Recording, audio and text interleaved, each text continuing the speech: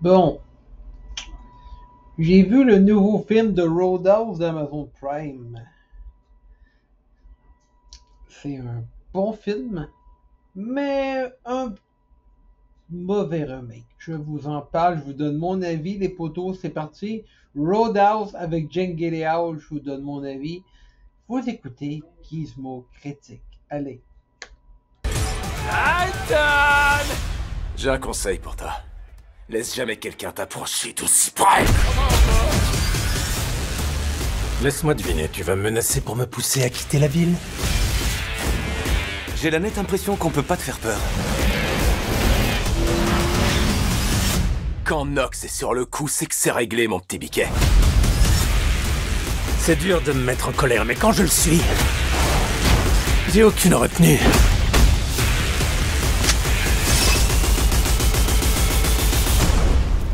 Gens ont l'air un peu agressifs dans le coin.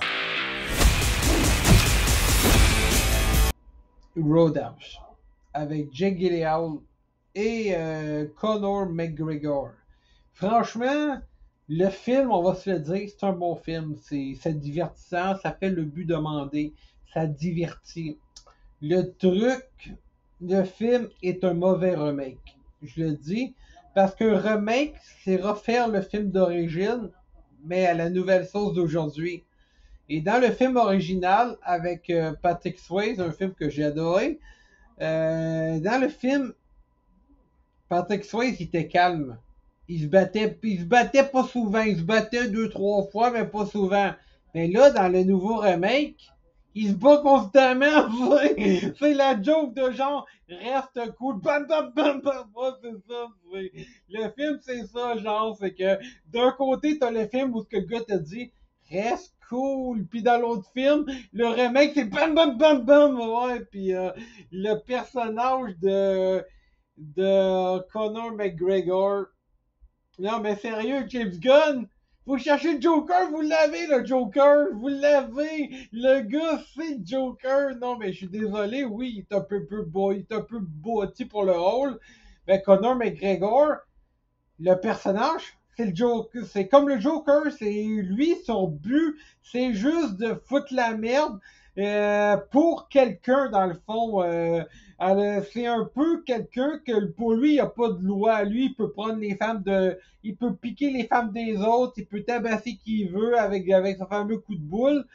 Vraiment, ce gars-là, c'est comme le Joker. C'est un gars que pour lui, les, les règles, les lois n'existent pas. Puis vraiment, c'est c'est à la dure, à la sauvage. Vraiment un peu comme le Joker, mais un peu plus bourrin par contre.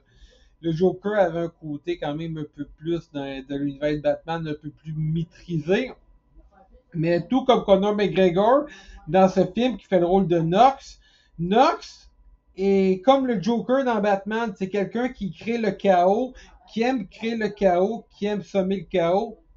Et j'ai vraiment, j'ai adoré, j'ai adoré les, j'ai adoré, j'ai adoré le seul truc que je pourrais,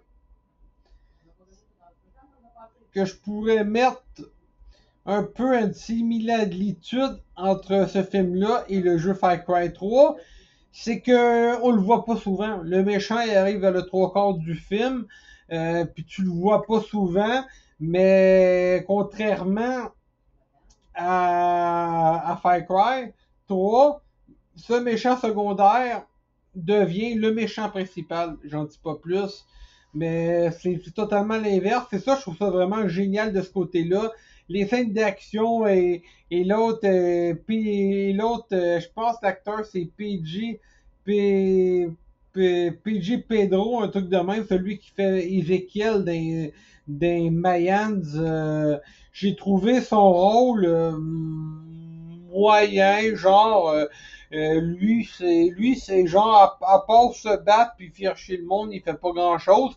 Pour moi, le film est un bon film, mais qu'est-ce que dis par mauvais remake, c'est que non seulement le film, dans sa globalité, fait tout l'inverse du premier film, c'est-à-dire euh, ne cherche pas à créer des liens entre. Qu'est-ce qui marchait dans le premier film, c'est que tous les personnages avaient des liens entre eux, il y avait une chimie entre eux, vraiment, tu le voyais, ça transpirait. Là, dans ce film, les, les, personnes que Jake Gyllenhaal rencontre dans ce film, il attache pas beaucoup de liens avec eux. Il y a peut-être la fille de la bibliothèque, whenever, que il y a un petit semblant de lien qui se crée. Il y a aussi le lien avec l'infirmière. Faut jamais oublier euh, le lien avec l'infirmière, sinon ça fait plus un, ça fait vraiment un plus mauvais remake, ça fait un remake nul, honnêtement. Mais alors que comparé à l'ancien film, j'ai trouvé ce remake, j'ai trouvé que ce remake manquait de, de vie.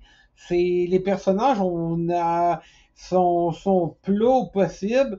Euh, Jake lui joue bien son rôle. Attention, c'est que les personnes qui l'entourent dans le film, il ne crée jamais de lien avec eux. Genre, le gars, il vient, il fait son taf, puis euh, il fait son taf, il essaie de survivre, puis c'est tout. Honnêtement, c'est, c'est honnêtement, c'est ça. Il y a un peu d'humour dans le film qui m'a quand même fait rire. Mais à part de ça, j'ai trouvé ça dommage parce que le film manquait un peu, manquait d'âme un peu au niveau des personnages qui entouraient le perso principal. Ça, c'est le, truc qui me déçu dans le film, honnêtement. Euh, à part de ça, l'histoire de relation avec sa copine dans le film, j'ai trouvé quand même intéressante. J'ai trouvé aussi que, que intéressant du fait qu'on l'utilise, euh, qu'on l'utilise, euh, qu'on la met plus dans dans l'action, un mané à se fait enlever, un affaire de même. Je trouve ça quand même intéressant. Euh, L'acteur qui joue le père aussi, euh, quand même intéressant. C'est le gars qui jouait dans Fast and Furious 5. Je sais que j'ai pas de conneries, le gars qui se fait braquer son coffre fort. Et moi, moi, il y a un truc vraiment que je dirais pour moi le gros point fort du film, Jake Gyllenhaal. Jake Gyllenhaal et Conor McGregor. Conor McGregor, quand il arrive, tu le sais que ça va péter. Le gars, il, il, vole, il vole la chemise de quelqu'un, vraiment. Puis après ça, t'as tout le truc en feu avec le monde qui, qui, euh, qui ont saccagé la plage derrière lui. Ça, je trouve ça génial. Ce perso-là est l'inverse de Jack Gyllenhaal. C'est l'effet miroir, en fait. Jack Gyllenhaal, c'est quelqu'un qui a, qui, qui a eu un, un passé quand même violent, puis il essaye de se calmer. Et l'autre, j'ai Conor McGregor, est l'inverse. Le gars, il a eu un passé violent, puis lui, il s'en fout de se calmer, il fait ce qu'il veut, il somme le chaos par tout ce qui passe. Ça, vraiment, j'ai trouvé ça vraiment génial de ce côté-là, la manière que c'est fait. Honnêtement, je trouve que le film manque un peu d'action, même à ça, le premier film aussi avait pas beaucoup d'action au début. Et ça, je trouve ça quand même intéressant de ce côté-là. Il y a le méchant principal qui devient vite le méchant secondaire vers le trois quarts du film. Lui, euh, l'acteur, il est bon, mais je trouve qu'il a trop le cliché de du fils de riche à papa qui est en prison, qui essaye de marcher dans l'ombre de son père. Puis vraiment, euh, j'ai trouvé que c'est une tête à claque. Vraiment, j'ai trouvé l'acteur, euh, à part donner des ordres, genre un moment il jette un téléphone, puis d'un de ses gars va, va, le chercher, il jette le téléphone à l'eau, puis d'un de ses gars, mais va me le chercher, qu'est-ce que t'attends? Une tête à claque qui mêle ses employés, ses gardes de main, ses hommes de main vraiment, c'est, j'ai trouvé que c'était vraiment un cliché de ce côté-là. À part de ça, le film est très bon, c'est un bon divertissement. Mais pour moi, c'est un mauvais remake, honnêtement. C'est un très mauvais remake car le film va à l'inverse du film original. C'est plus une adaptation qu'un remake parce que vraiment, on va pas se cacher. Le film euh, original de Roadhouse, je me rappelais pas qu'il y avait autant de batailles que, que le gars se battait autant que dans ce film-là, personnellement. J'ai trouvé ça popé, le fait qu'on illustre son passé de, de lutteur MMA par des, des, des cauchemars. Ça, je trouve ça vraiment excellent. Et sur ça, c'est tout ce que je pouvais dire. Ce film, écoutez, faites-vous votre propre avis. Amazon Prime, euh, whenever. Euh, ce film, honnêtement, il est, euh, vraiment, il est, bon. Honnêtement, si vous n'êtes pas abonné ou si vous n'êtes pas abonné ou, vous n'êtes pas un gros consommateur Amazon Prime, euh, vous pouvez le voir gratuitement. Il y a des essais Amazon Prime. Ou sinon, ou sinon, si vous prenez de quoi sur Amazon, activez Amazon Prime, livraison gratuite en deux jours, puis that's vous pourrez voir le film là, mais sinon, honnêtement, sinon, honnêtement, euh, puis surtout, si vous êtes un fan de Roadhouse original, Ne prenez pas ce film-là comme un remake. Pour moi, c'est plutôt comme une adaptation qu'il faut le prendre. Sur ça, les potes, j'espère que cette vidéo vous aura plu. C'était mon avis sur Roadhouse. Si j'aurais une note à y donner sur, sur, sur 5, ça serait, ça serait 2 étoiles et demie, voire ouais, 2 deux étoiles et demie, ouais, deux étoiles et demie. Un bon divertissement. Conor McGregor qui qui vole la vedette vraiment au méchant du film, qui est un peu une tête à claque, on va pas se cacher. Euh, le, les personnages du, qui entourent le héros, un peu trop mou, un peu trop en, un peu trop en manque de relief, mais à part de ça, j'ai adoré ce film côté action. Je me suis pas déplu, ça m'a pas déplu, mais je le dis, ce film est un mauvais remake un bon film, un bon divertissement, mais un très mauvais remake. Sur ce, j'espère que cette vidéo vous aura plu. C'est le cas, les amis, un petit pouce bleu, ça fait toujours plaisir ainsi qu'un abonnement à ma chaîne si mon contenu vous plaît. En règle générale, bien sûr, et moi je vous dis à la prochaine pour d'autres vidéos. C'était Gizmo.